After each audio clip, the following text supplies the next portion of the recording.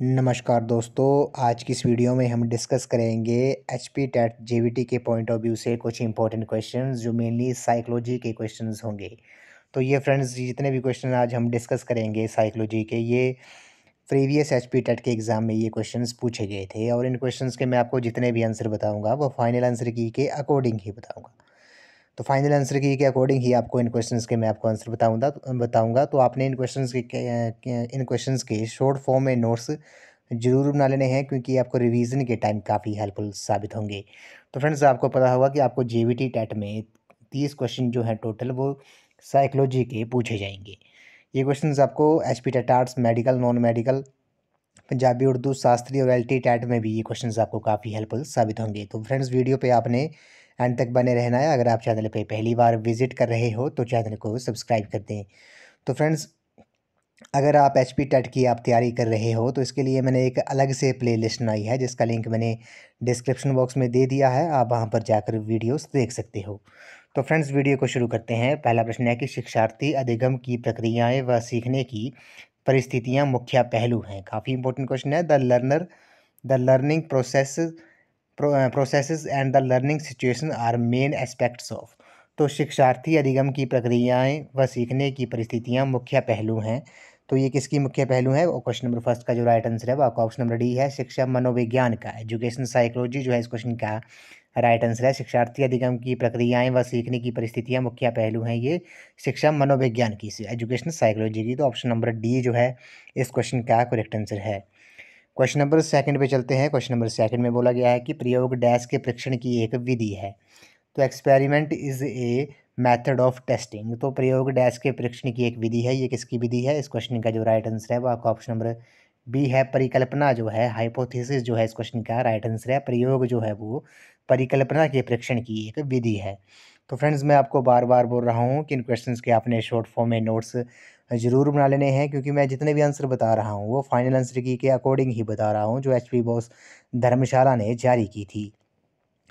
Next question पे चलते हैं। क्वेश्चन नंबर तीन पर, तीन में बोला गया कि मौके पर घट रहे व्यवहारों को उसी क्रम में लिखना डैश कहलाता है। काफ़ी इंपॉर्टेंट क्वेश्चन है। To write down the behaviours that happen on the spot in that order is called तो मौके पर घट रहे व्यवहारों को उसी क्रम में लिखना क्या कहलाता है? क्वेश्चन नंबर तीन का जो राइट आंसर है, वो आपका ऑप्शन नंबर सी है। विवरणात्मक कथाएँ उन्हें कहते हैं नैरेटिव्स कहते हैं। ऑप्शन नंबर सी जो है इस क्वेश्चन का राइट आंसर है। मौके पर घट रहे व्यवहारों को उसी क्रम में लिखना क्या कहलाता है? ये विवरणा, विवरण, विवरणात्मक कथाएँ कहलाती हैं। ऑप्शन नंबर सी इस क्वेश्चन का राइट आंसर है। क्वेश्चन नंबर चार पे चलते हैं। क्वेश्चन नंबर चार में बोला गया कि विकास एक डैश प्रक्रिया है। Development is a dash process. तो विकास एक क्या है? क्वेश्चन नंबर चार का जो राइट आंसर है, वो आपका ऑप्शन नंबर बी है। विकास जो है एक सतत प्रक्रिया है। Development is a continuous process. Option B इस क्वेश्चन का करेक्ट आंसर है। क्वेश्चन नंबर पाँच पे चलते हैं। जीन प्याजे का बाल विकास का सिद्धांत किस विकास पर आधारित है? On which development is Jean प्याजे theory of child development based तो जीन प्याजे का बाल विकास का सिद्धांत जो है वो किस विकास पर आधारित है? क्वेश्चन नंबर पाँच का जो राइट आंसर है वो आपका ऑप्शन नंबर बी है। ये संज्ञानात्मक विकास पर आधारित है। कोग्नेटिव डेवलपमेंट जो है इस क्वेश्चन का राइट आंसर है। जीन प्याजे का जो बाल विकास का सिद्धांत है वो आपका कोग्नेटिव डेवलपमेंट पर आधारित है।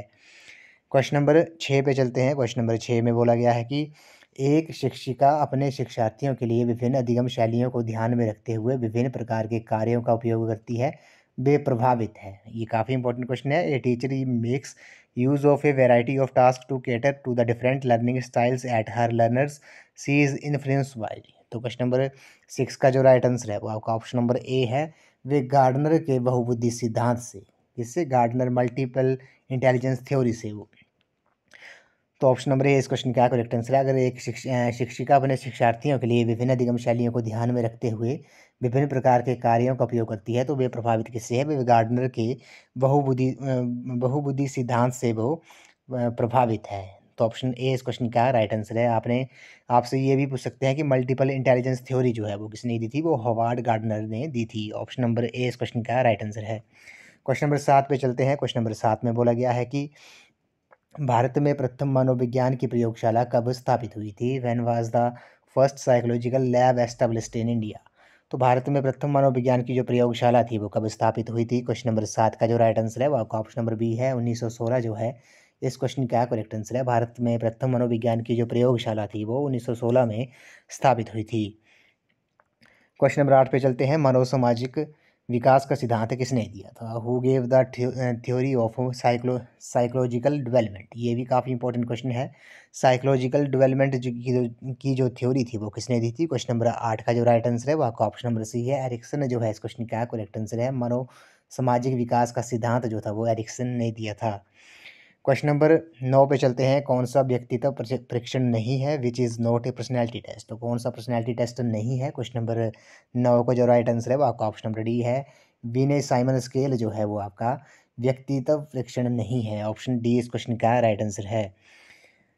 क्वेश्चन नंबर दस पे चलते हैं। जब दो विरोधी प्रेरणाएँ एक समय में एक समय में उत्पन्न हो जाए तथा एक समय में ही उसकी संतुष्टि चाहे तो उसे डैश कहेंगे। इसे क्या कहेंगे? ये क्वेश्चन भी क्वेश्चन भी काफ़ी इंपॉर्टेंट है। When two opposing motivation arise at the same time and want their satisfaction at the same time is called तो उसे क्या कहते हैं? क्वेश्चन नंबर दस का जो राइट आंसर है, वो आपका ऑप्शन नंबर बी है, उसे द्वंद्व कहेंगे कन्फ्लिक्ट कहेंगे। जब दो विरोधी प्रेरणाएँ एक समय में उत्पन्न हो जाएँ तो एक ही समय में उसकी संतुष्टि चाहे तो उसे द्वंद्व कहेंगे। क्वेश्चन नंबर ग्यारह पे चलते हैं। मूर्त, अमूर्त एवं सामाजिक बुद्धि का संप्रत्या किसके द्वारा प्रतिपादित किया गया था? Who gave the concept of concrete abstract and social intelligence concept किसने दिया था? क्वेश्चन नंबर ग्यारह का जो, ग्यारह का जो करेक्ट आंसर है, वो आपका ऑप्शन नंबर ए है। थोरनडाइक जो है, इस क्वेश्चन का राइट आंसर है। तो आपने याद रखना है ट्रायल एंड एरर का जो एरर थ्योरी जो थी, वो भी थोरनडाइक ने ही दी थी। क्वेश्चन नंबर बारह पे चलते हैं। बालक का विकास, अनुवांशिकता व डैश की अंत क्रिया का परिणाम है। Child development is the product of intersection between heredity and तो इस क्वेश्चन का जो राइट आंसर है, वो आपका ऑप्शन नंबर डी है। वातावरण जो है ऑप्शन इन्वायरमेंट जो है इस क्वेश्चन का राइट आंसर है। वाल वाल का बालक का विकास, अनुवांशिकता व वातावरण की अंत क्रिया का परिणाम है। क्वेश्चन नंबर तेरह पे चलते हैं। क्वेश्चन नंबर तेरह भी काफ़ी इंपॉर्टेंट क्वेश्चन है। इसमें बोला गया कि किंडर विधि का प्रतिपादन किसने किया था? Who propounded the kindergarten method question number तेरह का जो करेक्ट आंसर है वो आपका ऑप्शन नंबर ए है। फ्रेडरिक फ्रोवेल जो है इस क्वेश्चन का राइट आंसर है। किंडर गार्डन विधि का जो प्रतिपादन था वो फ्रोवेल ने किया था। क्वेश्चन नंबर चौदह पे चलते हैं। बुद्धि व सृजनात्मकता में किस प्रकार का संबंध पाया जाता है? What is the relationship between the intelligence and creativity तो क्वेश्चन नंबर चौदह का जो करेक्ट आंसर है वो आपका ऑप्शन नंबर सी है। धनात्मक जो है पॉजिटिव इस क्वेश्चन का राइट आंसर है। बुद्धि व सृजनात्मकता में धनात्मक यानी कि पॉजिटिव पॉजिटिव प्रकार का संबंध पाया जाता है। क्वेश्चन नंबर पंद्रह पे चलते हैं। सीखने की सामग्री के रूप में निरर्थक शब्दों का प्रयोग किस मनो, किस मनोवैज्ञानिक ने किया है? Which psychologist use nonsense syllables as a learning material तो क्वेश्चन नंबर पंद्रह का जो करेक्ट आंसर है, वो आपका ऑप्शन नंबर सी है। एविंग होस जो है, इस क्वेश्चन का राइट आंसर है। क्वेश्चन नंबर सोलह पे चलते हैं। फ्राइड के अनुसार इदम जो है सिद्धांत का डैश इदम, डैश सिद्धांत पर आधारित है। According to the Freud it is based on dash principle तो ये किस प्रिंसिपल पे बेस्ड है? क्वेश्चन नंबर सिक्सटीन का जो करेक्ट आंसर है, वो आपका ऑप्शन नंबर डी है। सुख, इस क्वेश्चन का राइट आंसर है। फ्राइड के अनुसार एकदम सुख सिद्धांत पर आधारित है।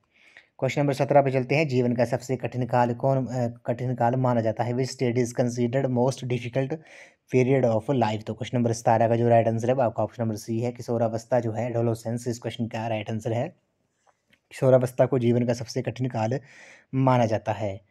क्वेश्चन नंबर अठारह पे चलते हैं। प्रोग्रेसिव मैट्रिसिस परीक्षण किस मनोवैज्ञानिक ने विकसित किया है? Progressive matrices test was developed by तो क्वेश्चन नंबर अठारह का जो राइट आंसर है आपका ऑप्शन नंबर ए है। रेवन इस क्वेश्चन का करेक्ट आंसर है। क्वेश्चन नंबर उन्नीस पे चलते हैं। अधिगम व्यवहार में परिवर्तन को कहते हैं, जो डैश की अपेक्षाकृत डैश परिवर्तन होते हैं। Learning is a modification in a behaviour which is relatively तो क्वेश्चन नंबर उन्नीस का जो करेक्ट आंसर है, वो आपका ऑप्शन नंबर बी है। स्थायी जो है परमानेंट इस क्वेश्चन का राइट आंसर है। अधिगम व्यवहार में परिवर्तन को कहते हैं, जो कि अपेक्षाकृत स्थायी परिवर्तन होते हैं। क्वेश्चन नंबर बीस पे चलते हैं। उपलब्धि संबंध शक्ति डैश प्रकार का अभिप्रेरक है। तो achievement relationship power and power are dash kind of motives तो क्वेश्चन नंबर बीस का जो करेक्ट आंसर है, वो आपका ऑप्शन नंबर डी है। साइकोलॉजिकल जो है, मनोवैज्ञानिक जो है इस क्वेश्चन का राइट आंसर है। उपलब्धि संबंध शक्ति जो है, वो मनोवैज्ञानिक प्रकार का ही अभिप्रेरक हैं। क्वेश्चन नंबर इक्कीस पे चलते हैं। मैस्लो के अभिप्रेरणा सिद्धांत को डैश का सिद्धांत भी कहा जाता है। Maslow theory of motivation is also known as तो से। मैस्लो की अभिप्रेरणा सिद्धांत को और किस सिद्धांत कौन सा सिद्धांत भी कहा जाता है? क्वेश्चन नंबर इक्कीस का जो राइट आंसर है, वो आपका ऑप्शन नंबर बी है। आवश्यकताओं का सिद्धांत भी कहते हैं थ्योरी ऑफ़ नीड्स भी कहते हैं।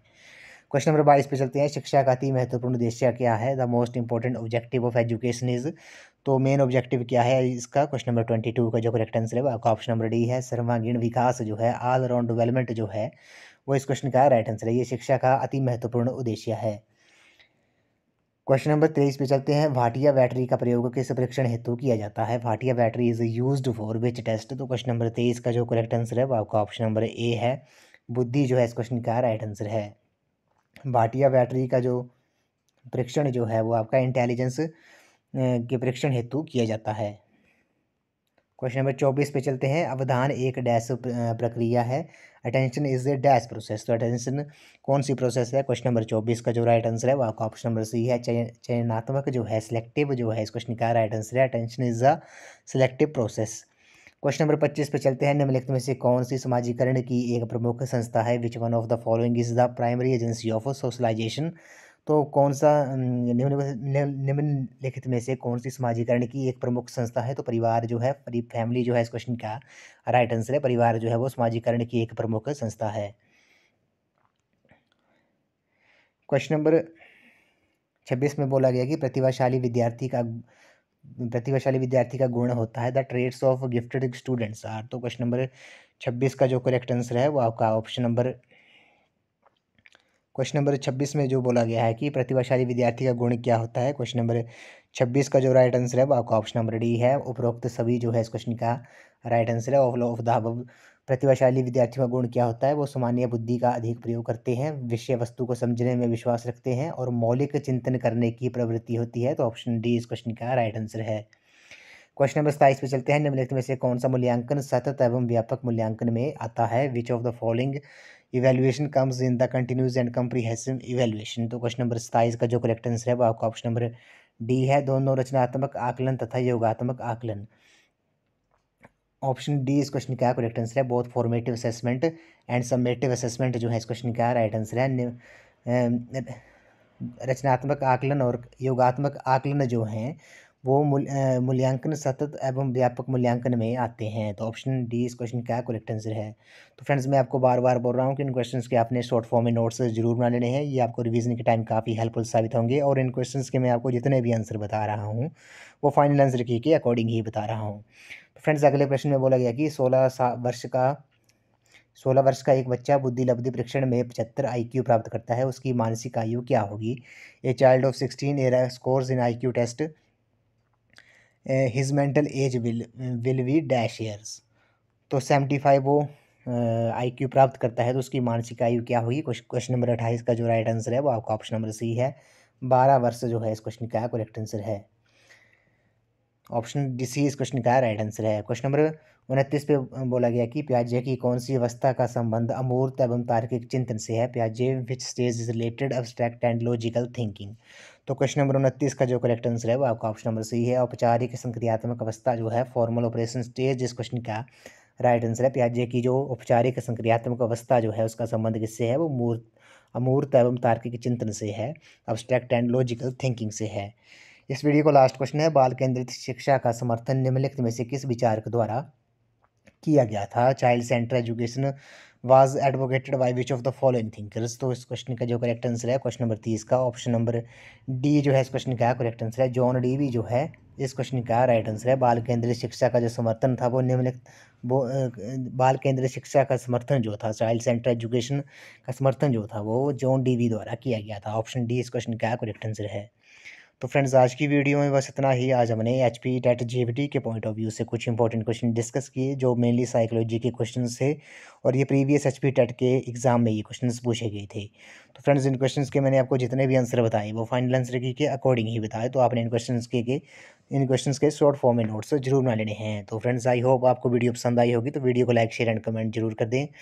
तो आज की वीडियो में बस इतना ही। तो थैंक यू फ्रेंड्स अगर आप एच पी टेट की तैयारी कर रहे हो, अगर आप तो इसके लिए मैंने एक अलग से प्ले लिस्ट बनाई है, जिसका लिंक मैंने डिस्क्रिप्शन बॉक्स में दे दिया है। आप वहाँ पर जाकर वीडियोज़ देख सकते हो। तो आज की वीडियो में बस इतना ही। तो थैंक यू फ्रेंड्स